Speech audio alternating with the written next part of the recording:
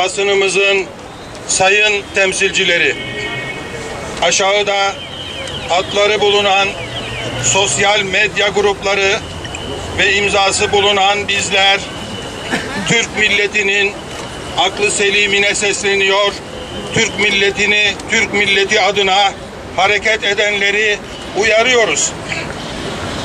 Bir, emperyal bir proje olan çözüm süreci gereğince ve terörist başının baskılarıyla meclisten geçirilen terörün sona erdirilmesi ve toplumsal bütünleşmenin güçlendirilmesine dair kanun anayasamıza aykırıdır. Çünkü Türkiye Büyük Millet Meclisi'nin egemenliğimizi ve bütünlüğümüzü parçalayacağı belli olan yasalar yapmaya yetkisi yoktur. Devletimizin kuruluş esaslarına ve anayasamızın belirlediği milli üniter devlet yapısına aykırı olan bu yasa kabul edilemez, uygulanamaz. İki, vatanımızı ve milletimizi bölmek amacıyla bebek, kadın, asker, polis ve öğretmen dahil 40 bin kişinin katili olan terörist başı muhatap alınamaz.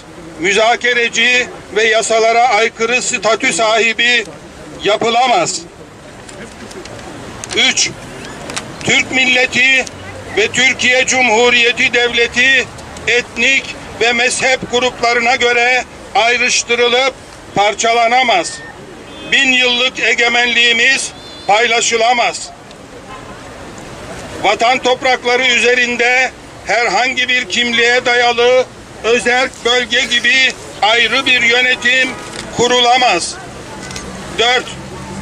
Ülkemize her topluluktan milyonlarca akraba olan olmayan kişiler sığınmacı yapılır iken bu imkanın sadece Türk milletinin birer parçası olan Türkmenlerden ve Doğu Türkistan Türklerinden esirgenmesi kabul edilemez. Bu ayrımcı tutum insani, ahlaki, hukuki ve tarihi sorumluluğumuzla bağdaştırılamaz. 5. Hukuk devleti kişi ve parti devletine dönüştürülemez. Yargıya güven sarsılarak kendi gücüyle hak arama yani ihkakı hak yolu açılamaz.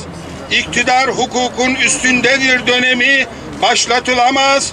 Türkiye'miz hukuk kargaşasına sürüklenemez. Aziz Türk milletine saygıyla duyurulur. Teşekkür ederiz.